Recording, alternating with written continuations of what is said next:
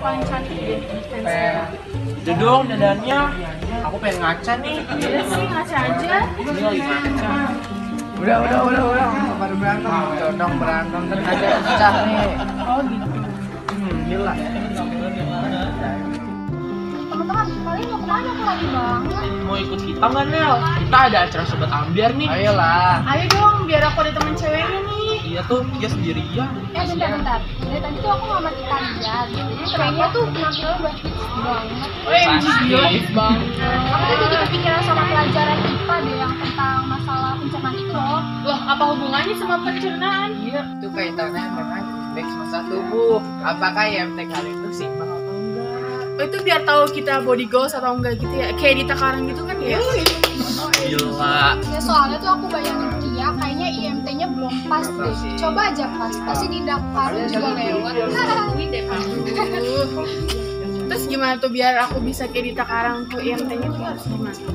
Nah, biar lebih detail ya, main kita besok aja datang ke Wina.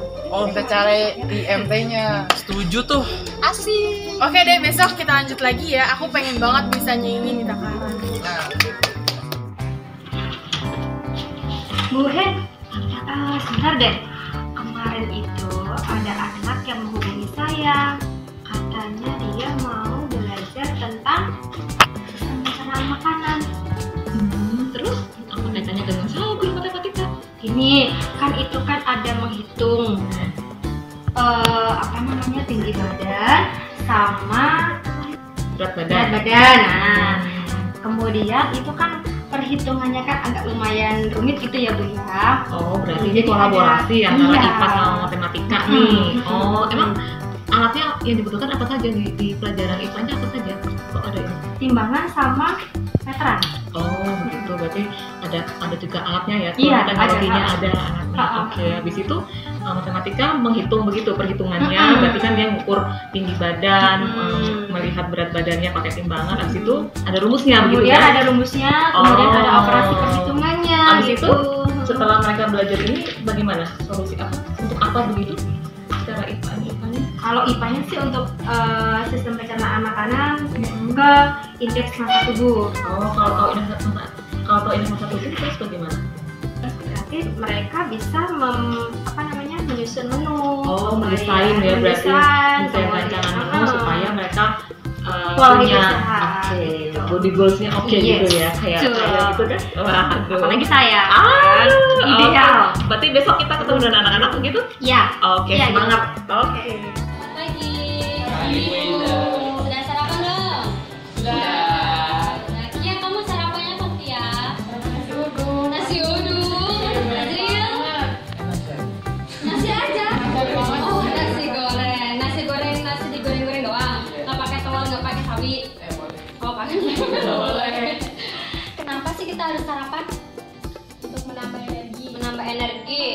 Untuk mengganti sel yang rusak.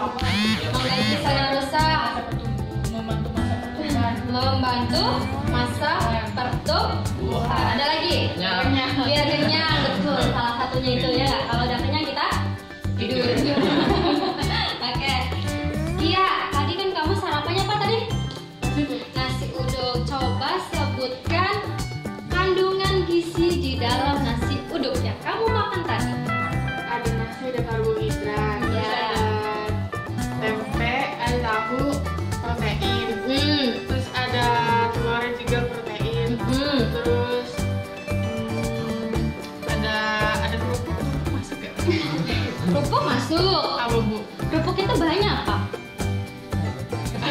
Tepung kan ya? Kalau Iya, tepung itu tepung. masuknya ke mana? Gandum masuknya ke mana? Ke karbohidrat. Nah, jadi gizi yang kamu dapatkan dari nasi uduk apa aja? Protein, karbohidrat. Hanya itu, protein dan karbohidrat. Karena dia nggak ada sayurnya, maka dia tidak ada vitaminnya ya nggak? Iya. Kamu minum nggak? Minum bu. Minum, kalau nggak minum seret ya. Dari minum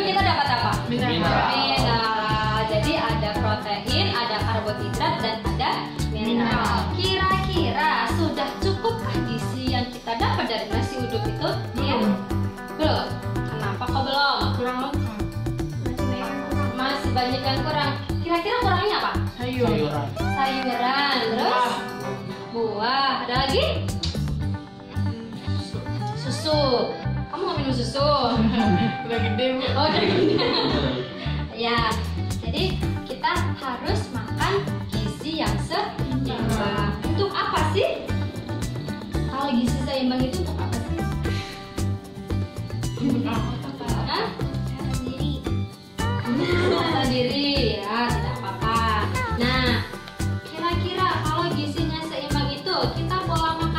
bagaimana? Harus sehat.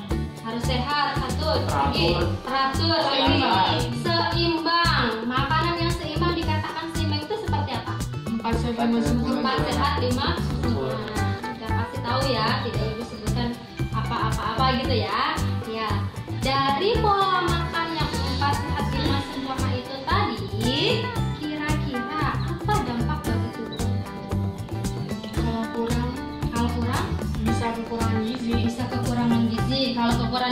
bagaimana Gampang sakit.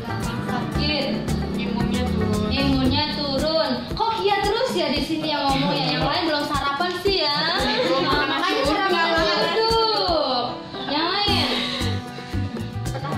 pertahanan tubuhnya kurang, tidak terlalu kuat.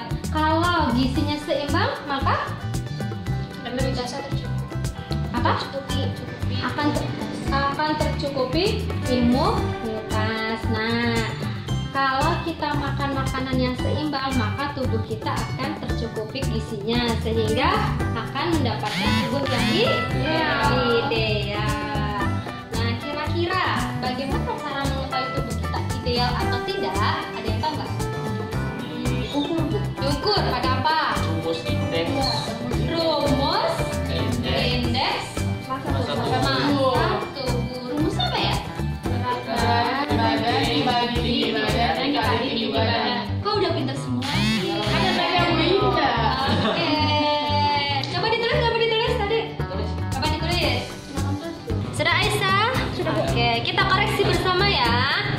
Ini kira-kira teman-teman?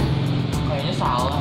Salah Put ya? Gimana Put? Salahnya Put? Harusnya di bawah. Apanya yang di bawah? Tinggi badannya. Oke, coba kamu benarkan. Yang benar bagaimana? Koreksi dulu. Bawahnya aja, ditulis ulang ya. Jadi biar kelihatan. Oke, sudah Put? Sudah. Ya, kira-kira benar nggak ini punya Putra? Yang bawah?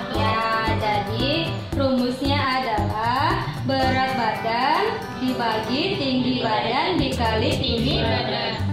Ya, tuh ya. Kira-kira siapa yang penasaran? Aku ideal nggak ya? Penasaran nggak? Aku Bu, aduh. Aduh, takut. Ideal nggak nih? Ya udah, biar tidak penasaran, kita mencoba mencoba praktek menghitung i IM. Badan ini. Iya. Oke, ya kita mulai praktek. Ayo. Siapa dulu? Aku, aku. Oke. Aduh, patah nggak? Jadi ya, bisa dibantu untuk mengukur nanti? Iya bu. Ya siapkan ukurannya, ya, ukurannya, meterannya.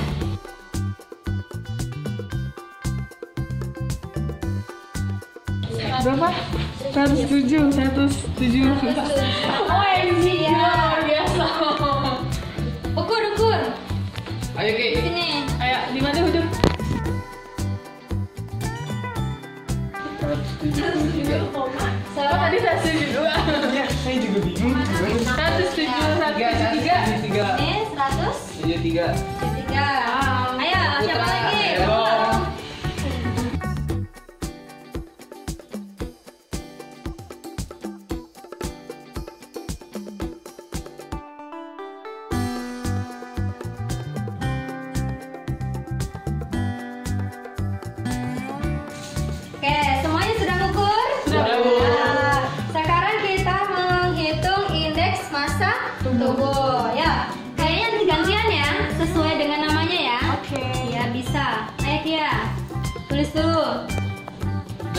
Tadi kan dari perhitungan Permenkes nomor 41 tahun 2014 cara menghitung I- IMT ini kan kayak gitu. Udah bener kan ini?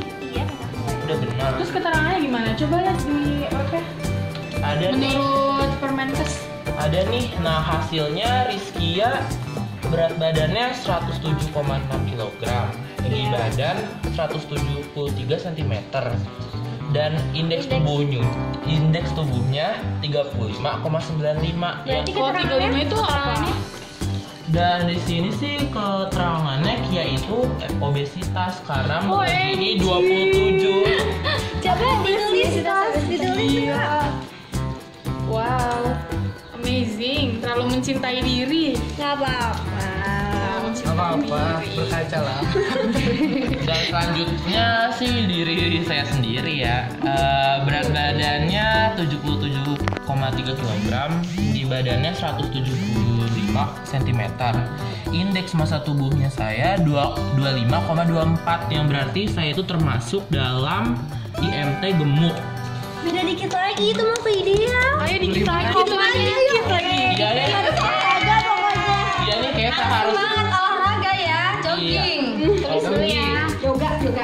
Sip sip Ya, sekarang kita koreksi. Jadi dari kelima ini kan sudah lengkap ya. Ada yang obesitas, ada yang gemuk, ada yang normal, dan ada yang sangat kurus. Silakan koreksi masing-masing. Bagi tips lah. Ya, si Putra bagi tips. Yang normal bagi tips juga biar kurus jadi normal. Obesitas nggak usah bagi tips ya. Nah, koreksi, koreksi. Bisa yang obesitas bagi tips ke yang sangat kurus. Bagaimana mentransfer biar dia nambah lagi. Setengah-setengah. Mau siapa dulu nih? Yang ideal lah, Bu. Yang ideal,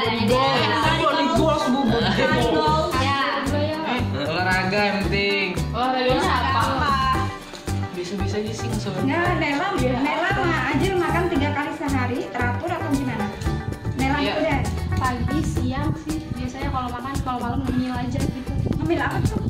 Biskuit apa Ngomongnya lontong. Ya, yang kemilih mie ayam ya. Saya tiga. berat bu Saya tiga lebih lah bu. Tiga lebih Azril, tiga lebih Naila.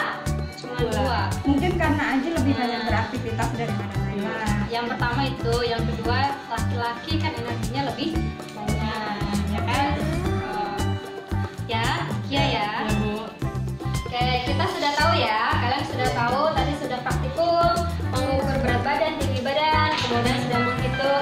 Massa tubuh kalian. Berarti sudah tahu dong kriteria tubuh kamu itu maksudnya ke normal atau ideal apa enggak, ya kan? Iya. Nah, sekarang tugasnya adalah kamu eh, tulis menu yang kemarin kamu apa namanya yang kamu makan, eh, yang kamu makan sehingga membuat tubuh kamu itu menjadi obesitas atau sangat kurus atau ideal, ya. Kamu susun menu-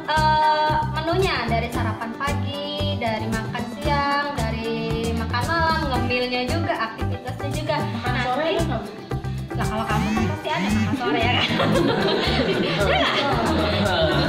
Boleh aja ditambahkan di situ. Makan malam, kemudian makan tengah malam juga boleh nggak apa-apa. Nah, dari setelah itu nanti kamu koreksi kira-kira kalau mau menjadi tubuh yang ideal itu mana yang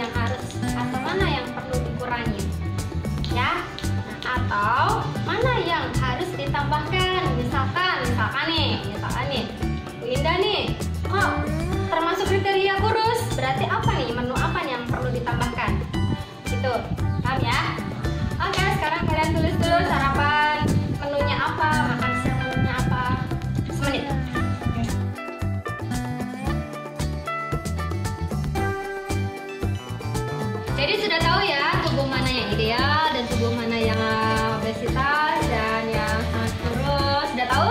Sudah. Cara menghitungnya juga sudah tahu? Sudah. Tipsnya sudah bagi-bagi tips? Sudah.